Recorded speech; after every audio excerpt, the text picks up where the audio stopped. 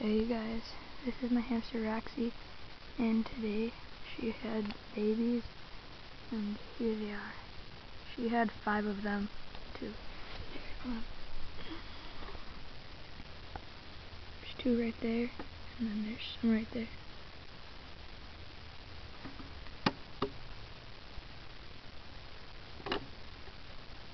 Right now she's just chewing on a boiled egg.